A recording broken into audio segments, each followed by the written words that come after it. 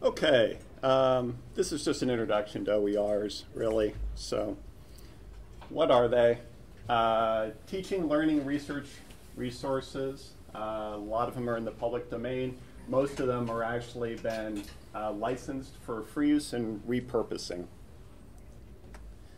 And this is how you'll see them. So, uh, Creative Commons license gives various uh, rights to reuse without asking for permission. So um, almost all of these allow you to take the work, uh, reuse it.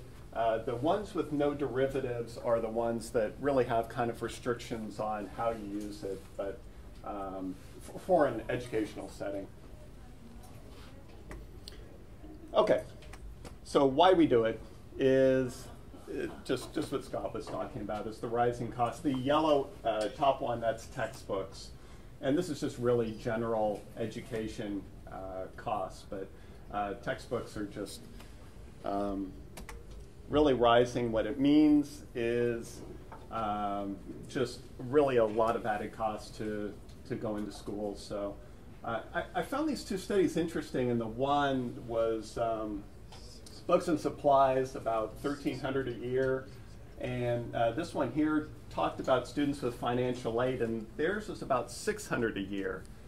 And it kind of leads to an interesting um, view that students are making decisions when they're making money decisions. Um, a lot of them are deciding to uh, sort of forego textbooks. So this is uh, research done at uh, Florida across um, a number of universities there.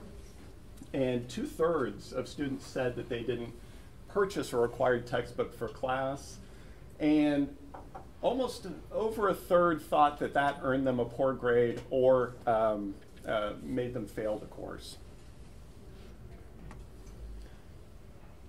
There's also the retention part of it as well. So uh, almost 50% thought that they took fewer courses or didn't register for a course uh, because of uh, lack of access to, or just because of the cost of the textbook.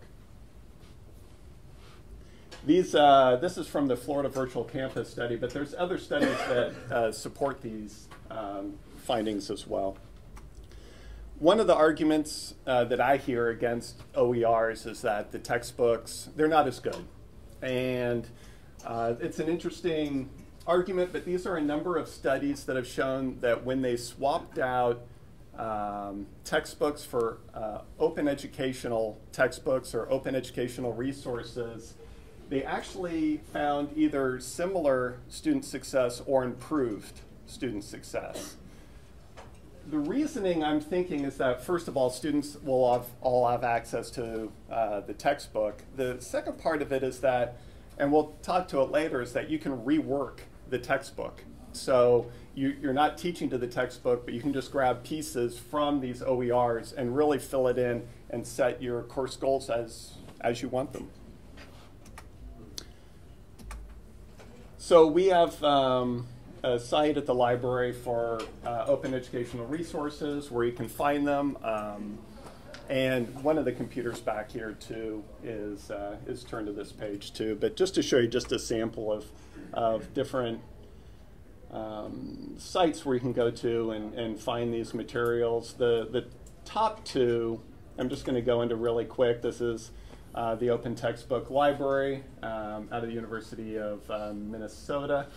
And uh, this is all textbook based. These have all been used. Um, they have kind of a criteria. It has to be used in multiple classrooms. Uh, but you can browse. Uh, they have reviews on them.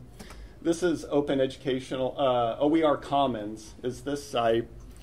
And this is actually really expansive. And you'll see there's over 20 different categories of materials that you can find and just uh, plug right into um, right into a curriculum. I uh, just wanted to show this. This is sometimes you'll pull things up, but this will actually show the conditions of use. So as long as it doesn't say no derivatives on it, and it has this here, uh, you can really uh, rework this material as you want. So some different ways of reworking things is you can just take one and just use it, or you can uh, take part of one uh, delete the things you don't like, type in the parts that you do want. Um, you can, you know, list the students to do edits, to do assessment on it. And it doesn't have to be, you know, the whole thing in one shebang. You can just do a section uh, and just, you know, just kind of repeat and build in subsequent courses. If you don't find any content, there's also, you can create in the classroom as well. You can sign groups. Um, each group writes a, a, different section. They have a rubric. They evaluate it. Um, and then you can just repeat and build in subsequent courses as, as well. It could be really in any format. So Canvas has a Canvas Commons you can publish to. Um, these are different examples of, of uh, projects that have gone on here at the university. I work at HSU Press, and we're publishing our first textbook, should be out uh, end of fall. So um, we're really excited about that too.